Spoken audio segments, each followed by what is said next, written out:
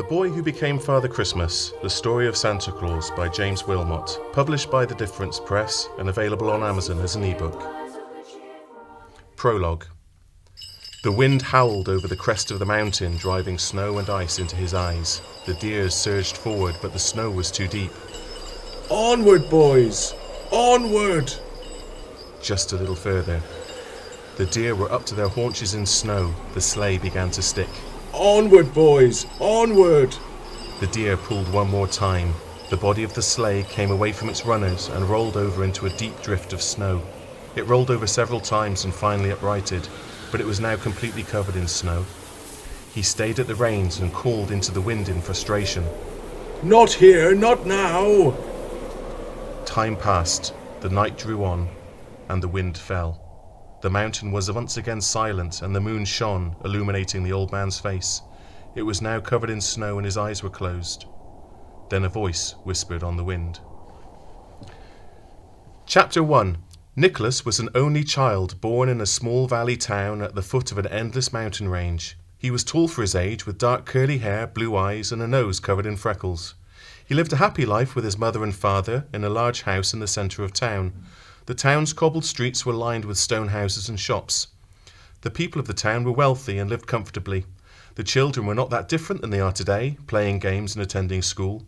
His father had an important job, but Nicholas did not truly understand what he did. But he did know it was something to do with the harvest market held once a year outside of town. At the last full moon of every autumn, Nicholas would ride with his father and many of the town's traders through the night to the market between the town and the foot of the mountains. When the procession arrived at dawn, one of the townspeople rang the bell in the large empty market building to call down the mountain folk. Nicholas looked back to the town in the valley almost a day away.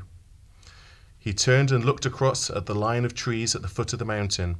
It was steep and stretched up to the sky. The mountain was covered in dense trees until its peak disappeared into the clouds. The market was a small collection of empty wood sheds with the main market building at the centre. The market town itself was surrounded by a stone circle that had been on the hillside for longer than anyone in the town could remember. Nicholas was frightened as night began to fall, and he stayed close to his father. As the night went on and the full moon rolled across the sky, lights and strange sounds began to emanate from the trees. At dawn, the mountain folk began to arrive. They looked different from the townspeople. They were shorter and dressed in scruffy clothes. They all looked miserable. Nicholas thought that they should look happier and more grateful, considering that the townspeople would be giving them the means to survive the winter in the mountains. They arrived into the market pulling carts full of goods. Some carts were pulled by reindeer, others by hand. The townspeople and mountain folk traded through the day. The mountain folk provided cheese, meat, animal skins, and wool to the townspeople. This was traded for coal, wax, grain, oil, and other things that the mountain folk needed to survive the long winter. Nicholas spent the day playing with his friends while teasing and keeping their distance from the children from the mountain, who didn't play at all and just helped their families in the market. Nicholas was nine years old when he heard the call of the mountain for the first time. He was playing with his friends near the woods when he felt the autumn wind switch direction and a sudden chill went through his bones. The bells on the reindeer began to ring as they started to kick and pull on their tethers. Then a sound came down from the mountain, a sound that was like a long moan, as if the mountain itself cried out in despair. Everything stopped for a moment. Then the mountain folk quickly packed up their carts and headed back into the trees. The townspeople also packed their wagons and rolled back to the valley. Once they returned home, Nicholas looked out of his bedroom window and up at the mountain, now in darkness save for just one or two tiny lights winking in the trees. Winter arrived the next day and the snow fell for a week. The people of the town carried on with their daily routines until preparations were made for Christmas. Nicholas's house was a grand one, and even during the long cold winter months it was warm and cosy. Every year the Christmas tree would stand proud in the bay window of the living room. It would shine bright, and its warm glow could be seen up and down the street. Nicholas loved Christmas, and so did his parents. They would spend their evenings sat around the Christmas tree telling stories and singing songs. On Christmas morning, Nicholas would wake with a wonderful surprise. At the foot of his bed would be a small toy. It was simple and made of wood. It was a gift that seemed to magic itself out of nowhere during the night. Nicholas's Christmas gift was the envy of his friends. Although a simple toy, it gave him so much joy and entertainment through the rest of the winter months. Nicholas was a happy boy and had no idea of the changes that lie ahead and the extraordinary direction his life was going to take. Chapter 2 One spring day, shortly after Nicholas's twelfth birthday, his teacher called him back at the end of school. There had been a terrible fire at his home. His father had tried to rescue his mother, who was still inside, and his parents had been lost. With his parents gone, he was told he would now have to live with his closest relative who lived on the mountain. Nicholas's world had collapsed, no family, no home. The next few days drifted by. He stayed with his teacher and his wife until word was received that his grandfather would meet them at the market crossroads. Nicholas didn't even know he had a grandfather. His teacher was a good man and lived with his wife in a small house on the outskirts of the village. He had been friends with his father for as long as Nicholas could remember. He had, of course, taught Nicholas and his friends to read and write. He was a patient and quiet man, much like Nicholas's own father. One evening, Nicholas found himself exploring their attic and found a wonderful brass telescope pointing out of the window and into the sky. He looked through the eyepiece and gasped at the sight of planets and comets that were revealed to him. Nicholas smiled for the first time in days. Nicholas's teacher Thomas was very happy to teach him further about the nature of the heavens beyond the valley. It took Nicholas's mind away from his loss and thinking about his parents. When several more days had passed, Thomas packed Nicholas a bag of clothes and some school books. Nicholas was a clever student, and Thomas hoped that these basic tools would help him to continue to learn in his new home. They travelled through the night by horse and cart to the marketplace at the foot of the mountain. Thomas distracted Nicholas from his fears by bringing along his brass telescope and compass and showed him how to navigate using the stars. Nicholas saw more planets and galaxies that night and learned about the wonders of the sky, but truly he wondered what use this knowledge would be now that he would be living in the wilds of the mountain. As they arrived at dawn, there was one man waiting for them. He was stood at the edge of the forest next to a reindeer that was tethered to a tree. He was a huge man, nearly seven feet tall and broad, nothing like the rest of the mountain folk. As they drew closer, Nicholas could see that his grandfather had a long white beard covering much of his face, but he could clearly see his eyes, and they were very sad. Thomas and Nicholas's grandfather exchanged quiet words, and then turned to Nicholas and put his hands on his shoulders. It's time to go, Nicholas. Take care and look to the stars for guidance. He gave him the brass telescope, compass, and maps of the heavens. Nicholas turned to his grandfather, who forced a small smile of reassurance. Come on, boy. We need to move quickly to get home before night. Chapter 3 They walked together into the trees with the reindeer following. The path was rocky, narrow, and steep. Nicholas slipped and tumbled. His skinny frame was not a match for the unfamiliar terrain, and he could feel his grandfather becoming increasingly impatient with his delays. Very soon, his grandfather turned, picked up Nicholas, and flung him over the back of the reindeer, which carried him for the rest of the day up and further up into the mountain. There was no snow, but it was so cold. They arrived at the village at twilight. The village was in thick woodland, and the huts and cottages were set apart from each other. It was a collection of stone huts and cottages either side of the path.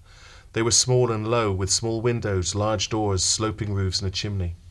A small chapel marked the centre of the village, and it sat by a small brook which babbled its way down the mountainside. A mill wheel dipped into the brook and turned slowly. Reindeer, goats, and small cows wandered between the huts, and some even peered out of the windows. The mountain folk stopped to regard this strange procession. It felt that all the eyes of the village were upon him, looking at him with suspicion and distrust. They carried on moving through the village and further up the path. They soon arrived at a cottage set apart from the rest of the village. It was also small and made of stone, but it seemed to be set into the mountainside with only three visible walls. Nicholas's grandfather tethered the reindeer and entered the cottage, leaving Nicholas to find his way off the deer's back and pick up his belongings.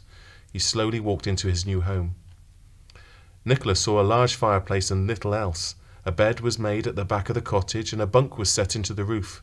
A table, two large chairs, and a stool were put to one side. A small solitary doorway was set into the back wall. It was locked with a table in front of it. There's nothing for you in there, just an old cupboard. His grandfather muttered. Suppose you'll be hungry. Nicholas was hungry. He hadn't really eaten for days. His skinny frame was even thinner than usual. Yes, I am. replied Nicholas as he gathered his coat around him. You'll get used to the cold.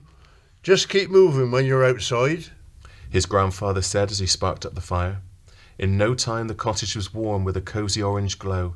Nicholas's grandfather gave him a steaming bowl of stew and some bread, which was eaten silently and gratefully. It was the most delicious food he had ever tasted. While he ate, Nicholas's grandfather sat in a chair by the fire, lit his pipe, and stared intently at him. You're a tall one, aren't you? Tall, like your pa, but you've got blue eyes, like your mother. You'll need to put meat on your bones if you're going to get by up here. If you were a new reindeer, they'd leave you out in the snow. A long pause followed. I've seen you at the market. You were next to your pa. I watched you growing up. I didn't know I had a grandfather. Nicholas replied. Had a falling out, your pa and I. He fell for a town girl and didn't want to live on the mountain anymore. Randy could live down here, sort out the market, and make sure we got more for our troubles. It worked for a bit, but I reckon it's all scuppered now. Why? Nicholas asked. Townsfolk let to keep us up. You're working hard. They give us enough to survive and take what they need from us to live the cosy lives. You had a nice big house, didn't you? Nicholas remembered his home. He missed it terribly. Don't fret, boy.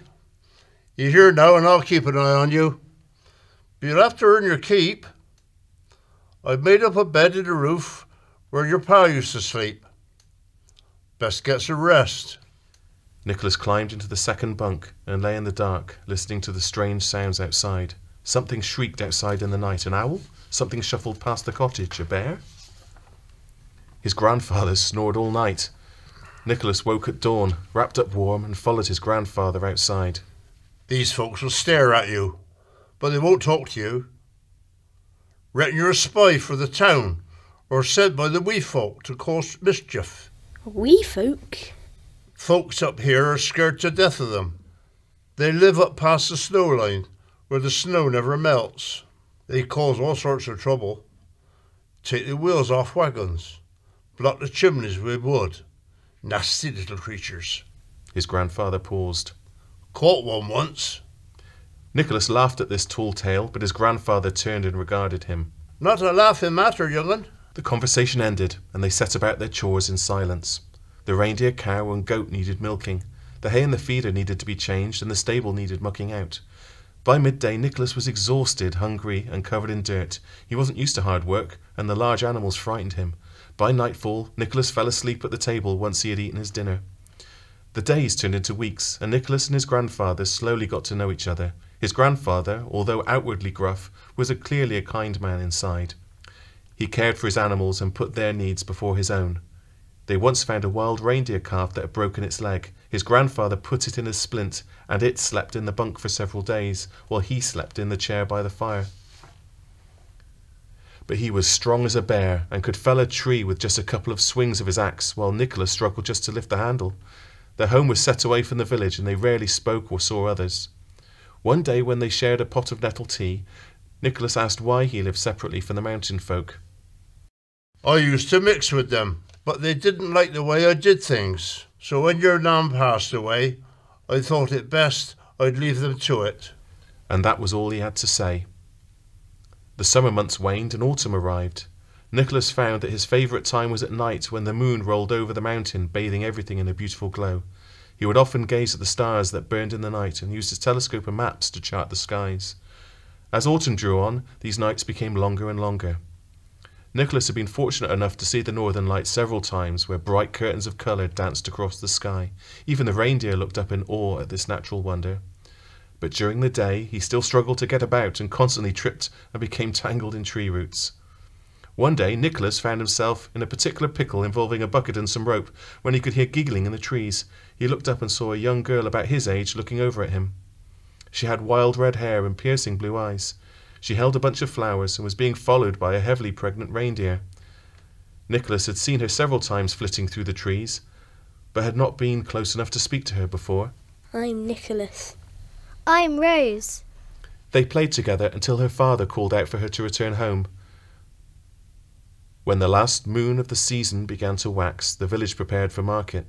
Although not a trader, Nicholas's grandfather had gone round the mountain on previous years, but had decided not to go this year. But Nicholas desperately wanted to go. His friends from the town would be there, and maybe his teacher. He wanted to let them know that he was all right. He wanted to tell them about his life in the woods. But his grandfather was insistent, and Nicholas saw him get upset for the first time. Your pa won't be there. I'm looking after you now, and I've no place to go. He said quietly. The market bell rang, and the villagers went down the mountain. They were gone for three days. They had just arrived back when the call of the mountain echoed through the trees. Nicholas and his grandfather brought their livestock into the house and battened the windows shut. The following night, the very mountain felt like it was shaking. The wind howled and snow came down in such quantities that just after two days they could not leave the house. That's us for the winter then. His grandfather muttered. And it was. They were there until spring. Chapter 4 After a few weeks, Nicholas was losing his mind with boredom. He had read his school books many times over and even had to resort to reading his grandfather's books on animal tracks and traps to occupy his mind. On Christmas Eve, they lit a candle to remember lost ones and settled down to sleep. That night, Nicholas dreamt of Christmas past, his parents and their Christmas day. As Nicholas woke on Christmas morning, he almost forgot where he was until the reindeer downstairs broke wind and served him a very clear reminder that he no longer lived in a grand house in town. But when he did open his eyes, he was greeted with a strange and wonderful vision. As Nicholas looked beyond his bed, he could see now that the cottage was decorated with wonderful garlands of cones, berry, and ivy. The fire was roaring, and his grandfather was sat next to it, wearing his finest waistcoat. Morning, young Nicholas, and a very Merry Christmas. His grandfather smiled at Nicholas, his eyes twinkling through his tiny round reading glasses. At the bottom of Nicholas's bed lay the most wonderful toy, that is how Nicholas's first Christmas on the mountain started, and he couldn't remember a day when he had laughed so much and had so much fun. They sang songs, played games, drank warm berry juice, and for Christmas dinner they had a small but wonderful roast dinner. In the evening, they both drank milk, and Nicholas ate the most delicious biscuits he had ever tasted. No one up here likes Christmas much, or at least they don't know much about it. They work so hard, they don't know when to stop. One year, I reckon I'll dig my way to every house and make them enjoy it, whether they like it or not. As Christmas Day drew to a close, their small and meagre feast had caused the little cottage to shine in the night. Thank you for my present, grandfather. Nothing to do with me, boy. I read it's the spirit of Christmas that paid you a visit last night. Nicholas went to sleep happy. Their celebrations, as his grandfather put it, broke the back of winter. Nicholas liked to think that it was their Christmas celebrations that had called for the arrival of spring, because the days seemed to pass by faster now, the sun stayed up for longer, and soon the snow began to melt. When he had finally emerged into the daylight, Nicholas stretched and stood up straight for the first time in weeks.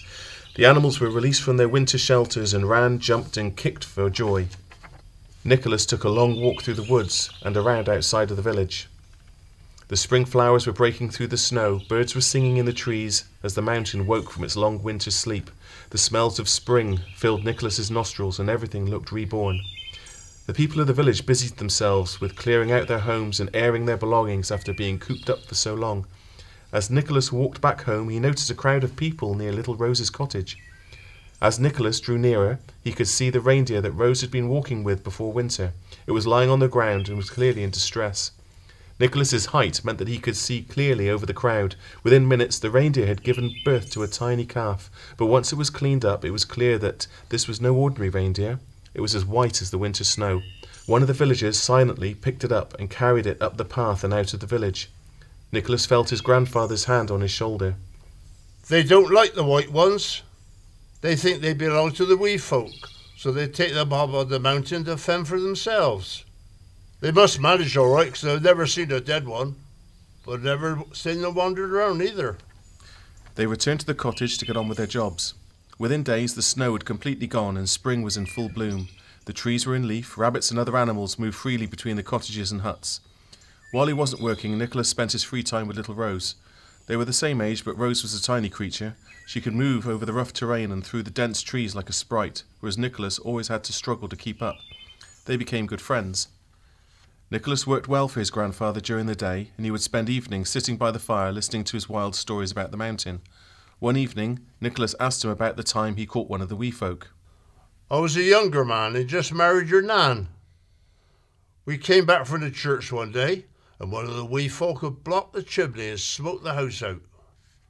I saw him head off into the trees out the corner of my eye, just like a wisp he was, like smoke. I was faster back then, and I chased after him. I followed his tracks in the snow for two days until I finally caught up with him. They'll tinker about with anything, but there's one thing they can't stand What is it, grandfather? knots. They can't untie knots. It drives in crackers because they can't leave them alone. So I knocked in my bootlace, crept up behind him, and tossed it over. While he was fooling around with it, I tied the other lace around his ankle. I dragged him all the way back home and locked him in the workshop. What workshop? Never mind that now. I locked him up for a couple of days, and they shouted in the way they was driving us round the bend. But on the third day, it all went quiet. I popped my head around the corner, and the little sprite had taken my tools and carved a rocking chair out of a single piece of wood. Where is it now? I'm sitting in it. No, grandfather, the creature. We kept him for a little while, and then we started to feel sorry for him. I was about to let him go when there was a knock at the door. Nicholas's blood ran cold. Who was it? It was the Mountain King himself, came to reclaim one of his own. He couldn't come into the house.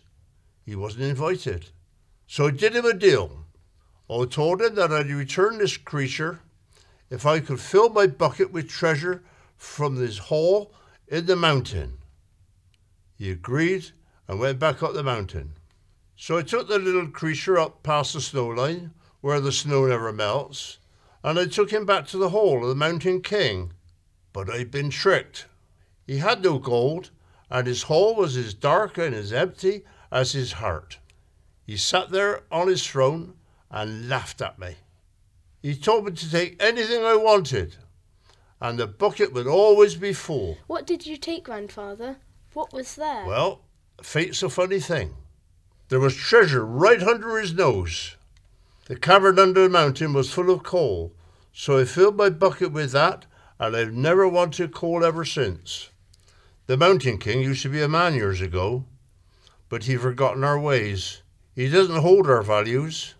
He'd forgotten what the warm glow of fire feels like. He didn't know that coal is as valuable as gold for us folk up on the mountain.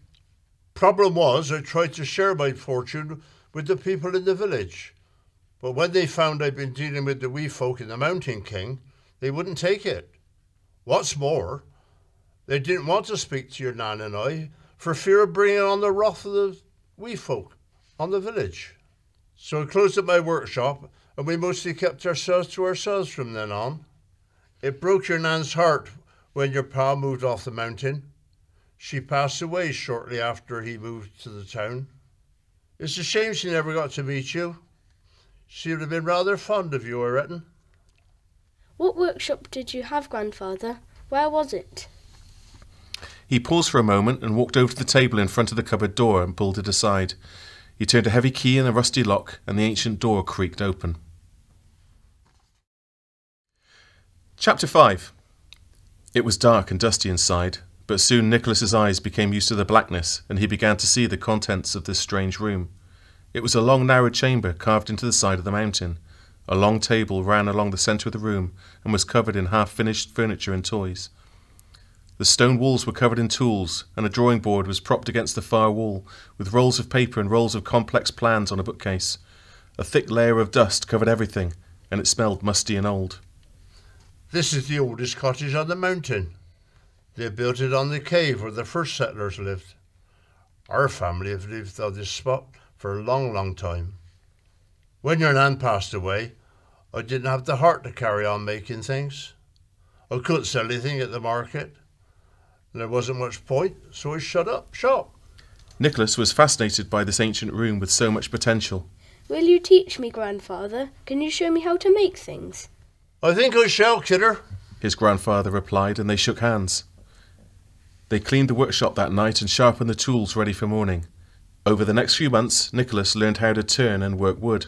Although with some small initial disasters, he quickly realized that his lack of coordination on the mountain was compensated with very good carpentry skills. Autumn arrived and the harvest was gathered. Although Nicholas was pleased with his work that year, he was most pleased with the achievement of finally allowing his grandfather to take him into market. It had been over a year since he had left town, and Nicholas was looking forward to seeing his old friends. He wanted to tell them all about his life on the mountain. The miller had gathered his flour, the candle maker had packed his goods, and the rest of the villagers had prepared their wares. Everything was packed onto carts, and the procession made its way down the mountain. They reached the edge of the woods at the foot of the mountain just after sunset. The mountain folk were not comfortable in wide open spaces, so they made camp among the trees. The full moon shone through the tree tops, casting strange shadows on the ground. At dawn, the mountain folk rolled the remainder of the distance out of the trees and down to the marketplace. But it was very clear that something was very, very wrong. The marketplace was usually a bustling area of townspeople and villagers from all over the mountain, but there was no one to be seen. Nicholas's grandfather walked up to the meeting post at the centre of the market house and read aloud what was written on a piece of parchment. As he was the only one of the few people on the mountain who could read, the mountain folk listened to him intently. Says here that the townsfolk have decided to move the market to the other side of the valley, over past the town. If we want to trade and get supplies, then we need to go over there. The mountain folk stood stunned for a moment. Then they started to shout in protest and argue. What would they do? Winter was just days away.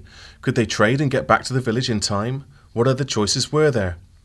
The miller then suggested that they try an alternative route and go over the top of their mountain and trade with the towns on the other side. It would take less time and bring them closer to the village on the return trip.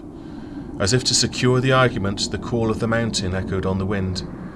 Three days simply wasn't enough time to travel to the far side of town, trade, and return to the village. They would have to try and scale the mountain for the survival of the village. Nicholas's grandfather protested. He was one of the few people that had been over the mountain, and he knew how dangerous it would be. But the villagers were insistent. They would go with or without Nicholas's grandfather to lead them. He begrudgingly agreed to help them. He thought that, as it would be better for him to lead them, to see them all get lost, but he insisted that the majority of the group stayed behind in the village. The deal was struck, and the mountain folk quickly retreated up the mountain path. They moved quickly and silently, with no time to lose. They reached the village at twilight, and the group quickly shed what wasn't essential. Six people, including Nicholas's grandfather, had volunteered to carry on over the mountain pass.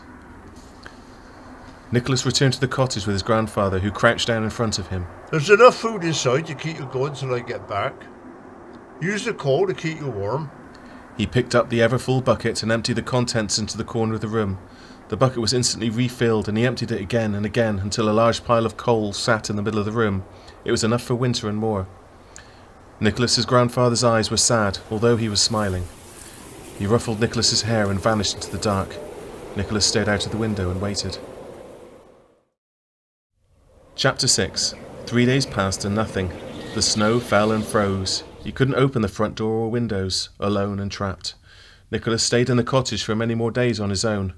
Eventually, when the food stores were long gone, hunger drove him to try and leave the cottage by any means. So he put on his grandfather's coat and belt, drew it twice round his waist, and scrambled up the chimney. He emerged on the roof, exhausted and covered in soot. He slowly stood up on the frozen snow, completely alone.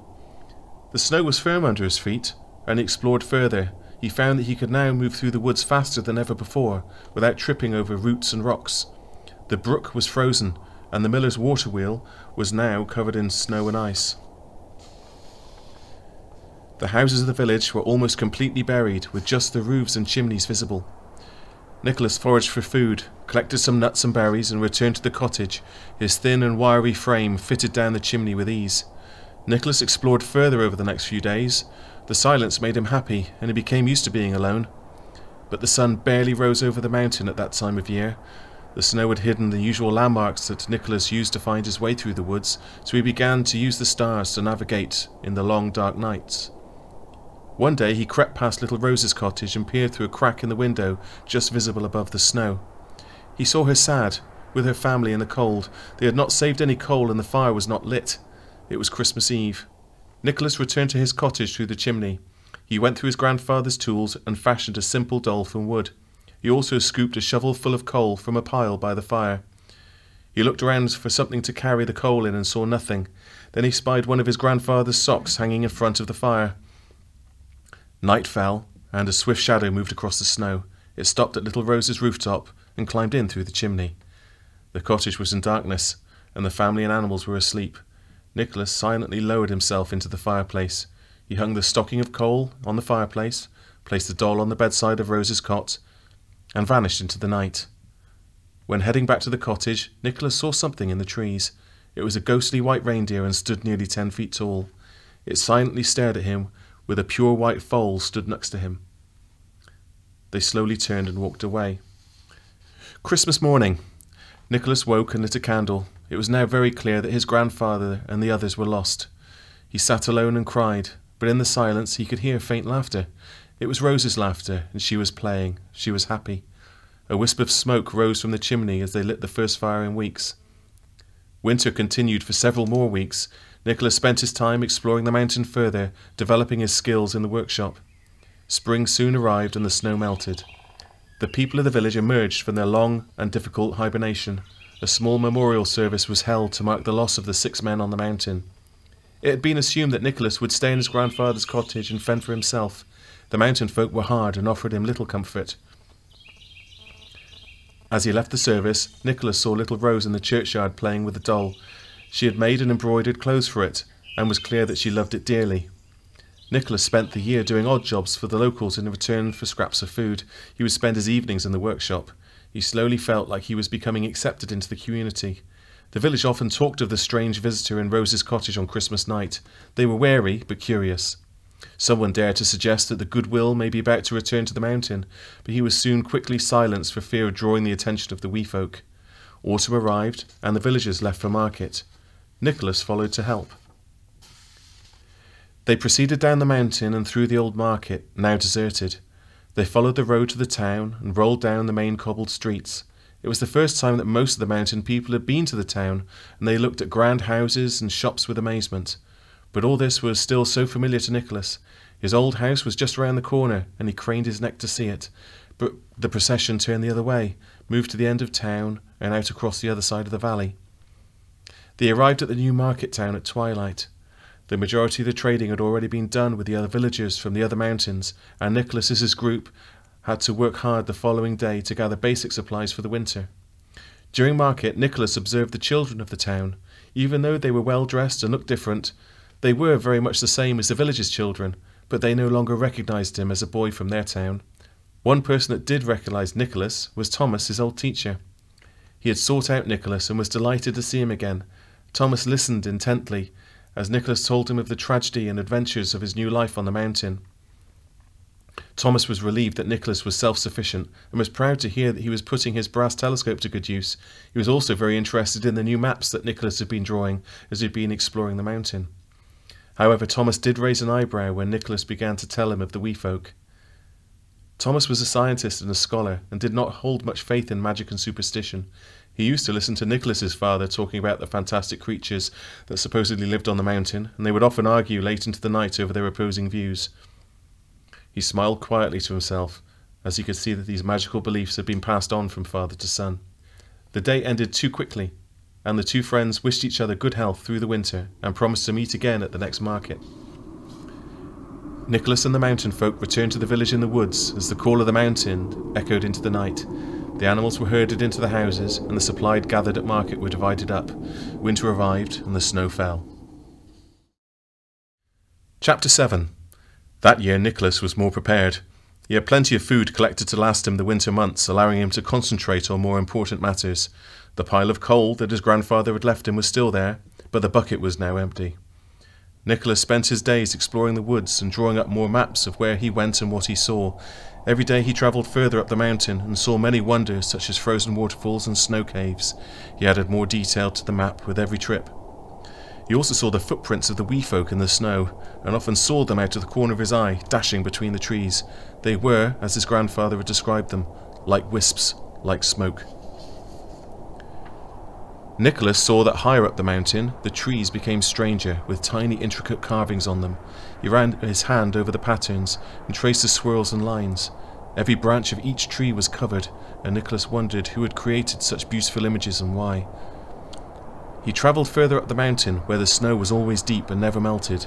In the shadow of a huge rock outcrop, Nicholas found the entrance to an ancient cave, but didn't venture too near it when he heard the laughter of the wee folk inside. Just looking at the dark entrance made his blood run cold. On his way back to the cottage, Nicholas heard a strange sound coming from the trees. He explored further and found the great white deer that had regarded him the previous Christmas. It had fallen into a snowdrift and become tangled in exposed roots and was clearly in distress. Without hesitation, he freed the deer by cutting through the roots with his hatchet. It stood tall and looked down at him. Its snout was cut and bleeding. It walked slowly away into the woods. Over the next few days, Nicholas saw the great white reindeer more and more. Its snout had begun to heal, but it would always have a great large scar. They eventually both became familiar and comfortable with each other as Nicholas tried to saddle it. He climbed up and the deer bolted. Nicholas held on for his life. They moved at extraordinary speed and passed through the valley silently. They travelled down the mountain and reached the abandoned marketplace within an hour.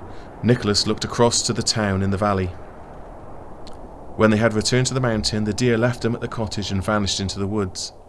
Christmas Eve arrived as it should, and the village remained silent. Nicholas made his way down the chimney of little Rose's cottage. He smiled when he saw an empty stocking hanging on the fireplace. He filled it with coal from a bag on his back and placed a boy doll on her bedside. He could see that she still slept with last year's doll held tightly.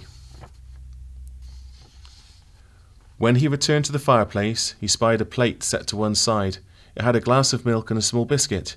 He ate and drank silently and headed out. He travelled to the next cottage and found the same. Every house in the village was visited that night. Every child was given a toy. On Christmas morning, Nicholas peered over at the cottages of the village. Small wisps of smoke rose from each home. Laughter and happiness drifted on the breeze. Nicholas's Christmas activities had left his coal store depleted. He remembered his grandfather's story about his meeting as a young man with the king of the mountain and how he outwitted him in his own throne room. His prize was unlimited coal, something the king of the mountain held no value in. The villagers in turn treated his grandfather's offer of coal with suspicion and fear. They did not accept it and rejected him for dealing with ancient spirits. Nicholas had known for a while that this moment would come. His grandfather was gone, and the king of the mountain no longer had a deal to honour. Although the thought of it chilled him to the bone, he felt that it was time to meet this king. He journeyed up the mountain to the cave. The stones around the door were carved with ancient images. It was beautiful. He took a deep breath and swallowed his fear. Nicholas ventured in. Quiet laughter began. He moved further into the dark. He fell. He was tripped, shoved, and pushed. Nicholas walked into a large chamber and stood before the king. He was this ancient and enormous creature, sitting alone on a throne, as ancient as the mountain itself. He was once a man, but his legs were now roots in the ground, his face was as tough as the stones and rocks, his head were crowned with antlers.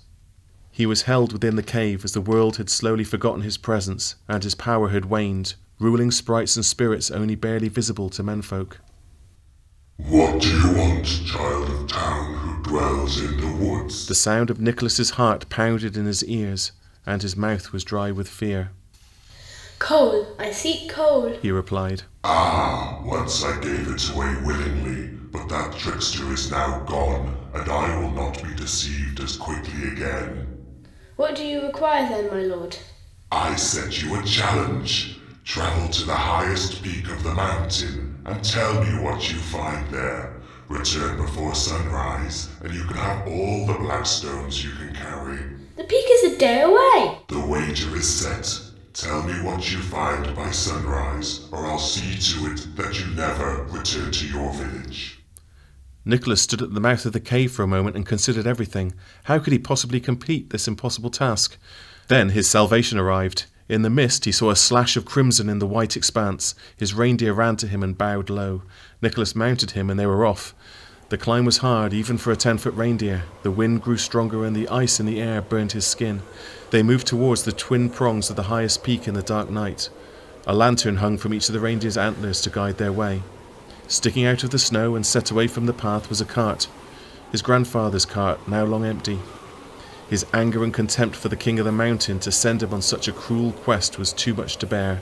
Nicholas's tears froze painfully on his cheeks as he dug the cart from the snow. The wheels were useless in the deep snow, so he took them off. He used his hatchet to fashion runners from tree branches nearby. He hooked the sledge to the deer, much to its discomfort and protests. The wind fought him as much on the way back than on the way up. He could feel the sun slowly trying to rise through the clouds they fought on. They arrived at the cave entrance and Nicholas walked through the hall. I have done as you asked. I have travelled to the top of the mountain and returned. Nicholas shouted into the dark. And what did you see there? I saw what was left of my village's courage. I saw what was left of my grandfather. Nicholas shouted through the tears. Indeed, young one, you may take what you can carry. Your tiny pockets will always be full. I hope you now see what is in store for those wishing to cross my mountain into the greater world. I can carry more than my pockets will allow, my lord. I can carry far more. The deer and sleigh thundered into the cavern. The king of the mountain roared with curses in a language long forgotten and made the halls shake. The wee folk in the shadows laughed at the deception and mocked their king. You are a trickster and wise in equal measures, but I honor our wager. Take your call, but know this. You have earned the respect of the children of the mountain as much as I have lost it. I am old and nearly forgotten. Soon I will pass through the mountain into other realms. Next time we meet, I wonder if you may take my place and release me. My lord, I do not wish to dwell in this mountain in the dark and live for ages. I wish to live, bring happiness to people. I shall take my prize and wish you well. They arrived back in the village as night fell. The reindeer gave Nicholas a cold stare at the effort of the haul. Nicholas patted him on his crimson scarred nose and quietly thanked his friend and ally. He unloaded the sledge at the first thaw and hid it in the stable to avoid the villagers' eyes. Nicholas was sad that to provide them with too much coal would meet with stubborn refusal, but also happy that he could provide them with small happiness in the darkest nights of the year and keep a small light burning till spring. Chapter 8 Over the next few years, Christmas had become a time of celebration in the village. Word spread of these strange events, and nearby villages on the mountain began to experience the same miracles. Further time passed, and Nicholas attended every market every year to meet with his friend Thomas. Thomas's family seemed to grow every year, and would often bring his children along to market to meet Nicholas, so they could hear about life on the mountain. He was pleased to hear that Thomas now lived in the house in town that Nicholas had once shared with his family. Nicholas's time in the village had led to acceptance by these strange folk. He was the only person there who could read and write, and now he had taught these skills to many of the children.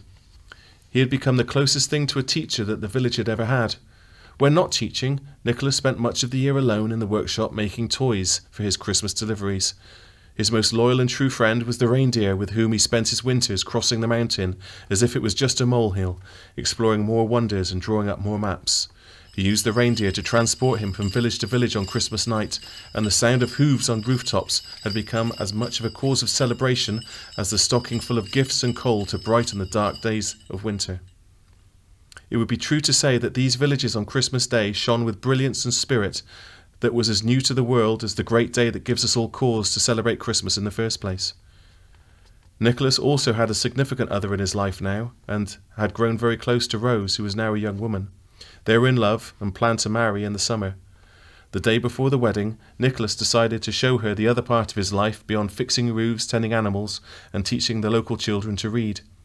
But his revelation of the coal store, the workshop, and his Christmas excursions were of no surprise to Rose, much to his own astonishment. Every year I've seen you at my house on Christmas night. Your eyes have glowed brighter each year with a spirit that this village has never seen before. Plus, your waistline is bigger than your meagre income will allow. I hope that your love for my biscuits on Christmas Eve is but a close second place to your love for me. Nicholas and Rose had a quiet wedding in the village church and promised to stay together forever. From that point, Nicholas no longer worked alone. Rose visited the workshop every day, making further toys and accessories from cloth and weave. She delighted in giving Nicholas's rough hewn toys further details and a softer touch. Christmas came quickly that year. Rose and Nicholas made the preparations with one exception. That year he got a gift. Something to allow me to see you in the snow, to let me know that you're safe. Rose said with a smile. It was a thick coat made from felt. It was bright red in contrast against the white of the snow. I worry when you go out. A number of accidents may befall you. I am also terrified that the wee folk will take exception to your antics and set you up for a fall. Oh, don't worry about the wee folk, Nicholas replied. They appear to have a soft spot for me, and sometimes I feel they may even be helping me on my travels. Nicholas put on his new coat over his tunic and pulled his grandfather's belt around his waist. He pulled on his thick boots and gloves, his teacher's telescope and compass attached to his belt. His maps had been carefully rolled and tucked into a satchel slung over his shoulder. He set off up the chimney into the night. Chapter 9 The crimson nosed reindeer helped him traverse the mountain while Rose sat in Nicholas's chair by the fire, quietly waiting for him to return. Near morning, she would feel the warmth of his hand rousing her from sleep, and then he in turn would sleep for an age, all the time with a smile on his face. Further years passed, and the mountain became a place of celebration, a happy place. Rose and Nicholas spent every moment together, save the night of Christmas. Nicholas became middle aged, with a thicker belly, but his chimney climbing skills remained without equal. He grew a beard, as was customary in the mountains, and it became flecked with grey. He had also taken to smoking his grandfather's pipe when sitting by the fireplace. As his Christmas journeys became more ambitious, Nicholas struggled to make it home for dawn, but he always seemed to manage it as if the very night was waiting for him to return home safely before releasing the sun. The people of the mountain now had no memory of a life before their Christmas saint. This legend had been heard in the town for many years, but was dismissed as native folklore and superstition. A further wonder befell Nicholas during these Christmases. For each year over eight years, his lead reindeer would be joined by an additional reindeer, as if to offer further help to fulfill his crusade. He no longer rode one on bareback, but now a fleet of nine pulled his sleigh through the woods. At market one year, Nicholas's old friend Thomas had met him as normal. Thomas's grown children and grandchildren now brought him to market on a cart, as age was catching up with him, and he now struggled to walk.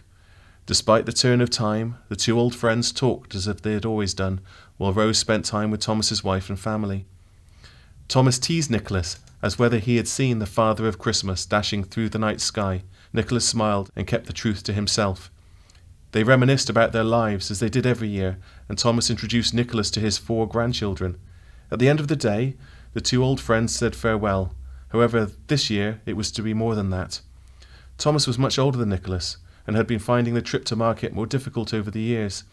With sadness in his heart, he told Nicholas that he feared that he may not be able to make it the following year. Nicholas understood. They shook hands warmly and wished each other good health.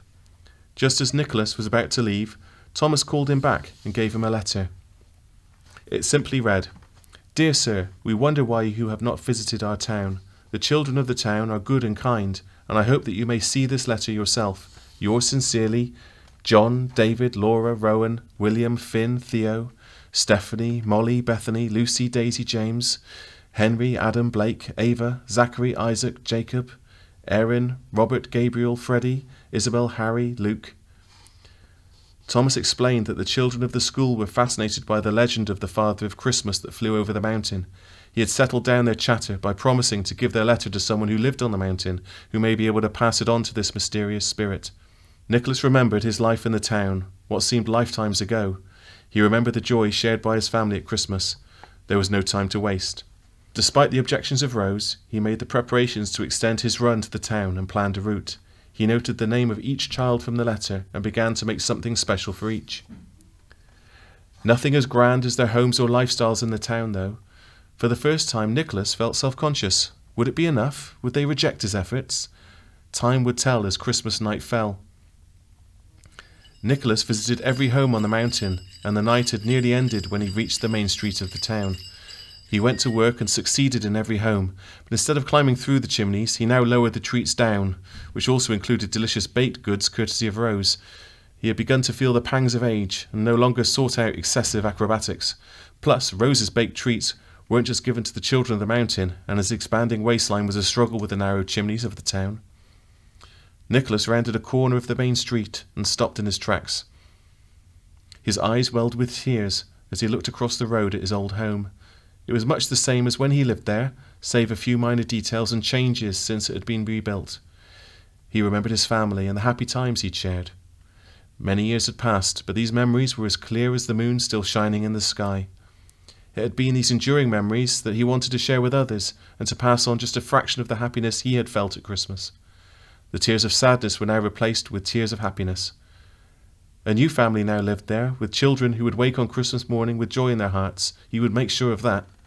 He mounted the sleigh and made his way out of town, but it was not his intention to return home just yet.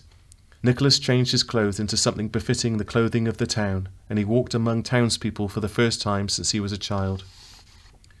Although his own Christmases were happy and full of joy, many of the other folk of the town remained as grey and sad as the stone of their houses. This morning was different. He was presented with a bustling sight of happy people and families greeting each other on Christmas morning. The children played with their toys, while the parents marvelled at the previous night's events. The windows of his old home were filled with a warm glow. Nicholas could see the family inside standing around their Christmas tree holding hands and singing carols. One of the children waved to him out of the window. On Christmas morning, Thomas had woken from his sleep to the sound of his grandchildren shouting with joy.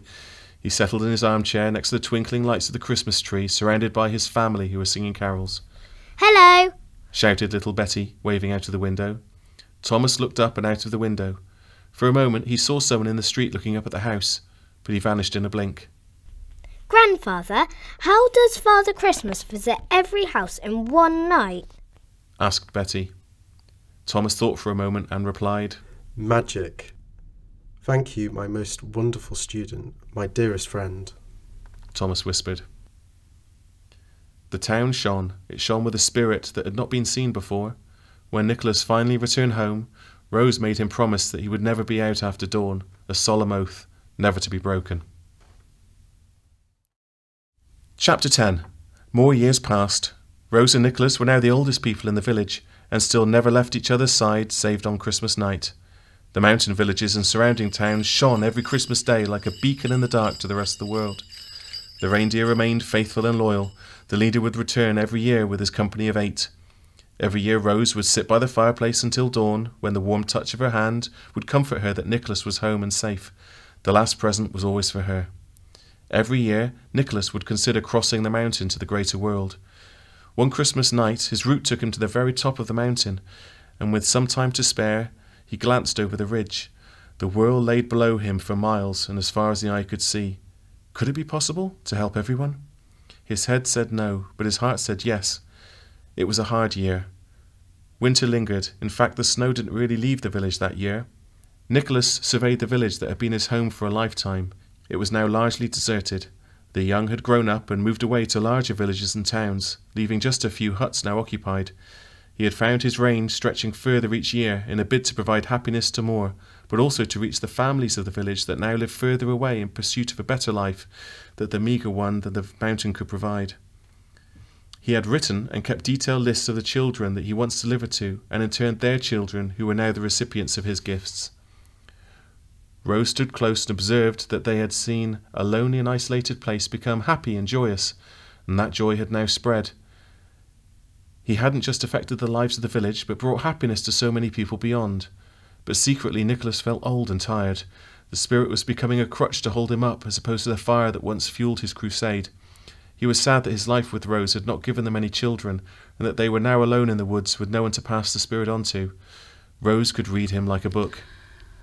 Nonsense. The children of the villages and the towns carry the same spirit, and will in turn pass it on to their children now that the fire has been lit. It will burn forever as long as the people want it to. But what of the others over the mountain? What of the greater world that we have been separated from for so long? You cannot help everyone, Nicholas. The mountain is there for a reason. One man can achieve only so much, and you have achieved that already. If you try to break the mountain, it will only break you. How can you be sure? How can you be sure that it can't be done? If we start now, we could try. And if you were to fail, you could suffer the same fate as your grandfather.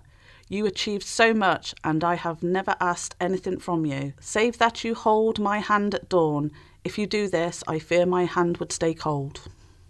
It had to be done, it had to be tried. It was a hard year. Chapter 11 Christmas Eve. The sleigh had been filled to the brim. The reindeer arrived in procession as they should. Red Nose stood in front, tall and proud. Nicholas hooked up the sleigh and glanced back at Rose. Tears brimmed in her eyes. Tears made from equal measures of pride and fear. He smiled and winked.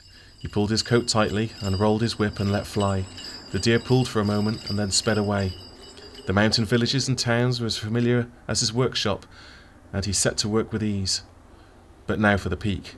It was a stormy night, and the wind howled down the mountainside. The deer surged forward, and the snow was deep. The wind burned their eyes and skin, trying to drive them back, further, further, bit by bit. The peak was now visible in the dark. Red Nose turned back, so as if to check that they should really proceed. Onward, boys! Onward! Just a little further. The deer were up to their haunches in snow. The sleigh began to stick. Nicholas got out to push. Nothing. Onward, boys! Onward! The deer pulled one more time. The body of the sleigh came away from its runners and rolled over into a deep drift of snow. Nicholas was taken with it. The sleigh rolled over several times and finally it righted, but was now completely covered in snow with Nicholas still in it. Nicholas was at the reins, called into the wind in frustration. Not here, not now! The deer stayed close to tend to Nicholas and keep him warm as best they could, but to no avail. He could feel his life fading in the cold. It was the same spot his grandfather fell trying to save his village so many years before. Rose, He closed his eyes and could see her sitting by the fireplace. Rose, I'm, I'm going to be late. Then silence, and the wind stopped. The reindeer lay down, the snow settled, and the sky cleared. Then a voice whispered on the wind. Are you ready, child of the town who dwells on the mountain? Are you ready to take my place? As dawn drew close, the wind fell, and the snow across the mountain glittered like diamonds. Not a creature had disturbed it, no footprints could be seen. Back in the village, Rose's hand grew warmer, and she smiled in her sleep. You are late, my love. She said quietly. Rose didn't want to open her eyes and wake from this dream. Was it a dream? She opened her eyes slowly, but he was no longer there. But lying on her lap was the toy she treasured so much as a child, as perfect as the day it was given to her. Chapter 12 Spring arrived and passed, summer came and became autumn. Rose took slow walks in the woods to fill her days and read by candlelight at night. She comforted herself by reading through the many thank you letters written by children over the years. She traced the lives of so many through their childhood and then their children. A map of their lives lay before her. Nicholas had kept all of this, and every year he made a list of every child. He always checked it twice, so no one would be neglected. Rose had decided early that year that she wouldn't take up Nicholas's tools, so the workshop lay dormant and gathered dust again behind a locked door. As the year waned, Rose dreaded the coming Christmas. Winter arrived with the call of the mountain, and the snow fell. Christmas Eve came, but this day was not welcome in the lonely house on the mountain. As was her custom, Rose settled down in front of the fireplace with a candle burning and fell into a dreamless sleep. As dawn drew close, the wind fell and the snow across the mountain settled. Not a creature had disturbed it, no footprints could be seen. But something stirred, and the sound of bells rang quietly in the night. Rose's hand grew warmer, and she smiled in her sleep. You are late, my love. She whispered. She slowly opened her eyes and saw Nicholas standing over her. He held her hand and smiled, now a luminous being. Come with me. I have something to show you. Rose closed her eyes once more. She felt Nicholas carrying her. The snow crunched under his boots. She could hear the deer pawing in the snow and the bells of the sleigh ringing. Nicholas laid her carefully next to him in the sleigh without any effort. She was warmly wrapped in a blanket as the sleigh sped away up the mountain. Trees dashed past in the blink as the sun rose. They reached the entrance to the cave in moments, its mouth now glowing with warm light. Are we bound here, Nicholas? I'm now the king of the mountain, but I'm not trapped here. As long as the people want me, the world is mine to roam. The world? But how? asked Rose. The wee folk will help us. The cavern was warm and bright, with tunnels leading off in every direction. Nicholas showed Rose their new home. In time, he emptied the cottage and brought their meagre belongings into one of the smaller and cosier caverns. The shadows of the wee folk began to take form, and Rose began to see them for the first time, as opposed to a glimpse out the corner of an eye. She taught them manners and made them clothes. More time passed, and the underground palace became home. Nicholas and Rose worked at their leisure. The wee folk helped them produce toys of the finest quality and detail. The mischievous side of the wee folk manifested itself from time to time, but it was nothing that Nicholas or Rose couldn't put right without a stern glare or strong word. As Christmas Eve arrived, the final preparations were made, and the sleigh stood in the main cavern with the reindeer hooked up. Nicholas stood tall and proud next to Rose. He was old, and his beard no longer held any colour other than silver, but he had the energy of a child and the strength of a white reindeer.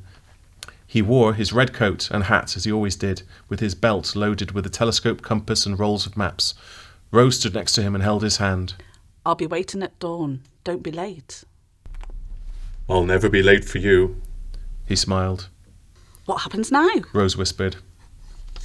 When I close my eyes, I can see every child who holds hope in their heart. They shine like stars on earth. There are so many. And we have all the time we need. Nicholas walked around the sleigh and the deer once more to check that everything was as it should be. He stopped to scratch the lead deer on his red scarred nose. He regarded the deer as his guardian and protector ever since his grandfather had left so many years before. Why have you named all the others, but not him? Rose asked. He does have a name, but not one I've ever said aloud. Nicholas looked down at the belt around his waist. It still had his grandfather's name etched into the buckle. Rudolph. His name is Rudolph. Nicholas climbed into the sleigh and held the reins. The deer kicked at the ground, urging the sleigh forward. He unfurled his whip and let fly. Nicholas's voice boomed through the mountain hall. On Dasher, on Dancer, on Prancer and Vixen, on Comet, on Cupid, on Donder and Blitzen. Rudolph, take us away! The sleigh flew forward and burst from the cave like lightning. Nicholas laughed as they reached the top of the mountain. Ha ha ha ha ha He laughed with pure joy as the company of deer and his sleigh crested the impassable peaks and flew forward into the sky. The world lay before him, small lights in the dark like tiny beacons. As he sped forward, the lights burned brighter and brighter. The world now began to glow with pure joy. Joy to the world. And that was just the beginning.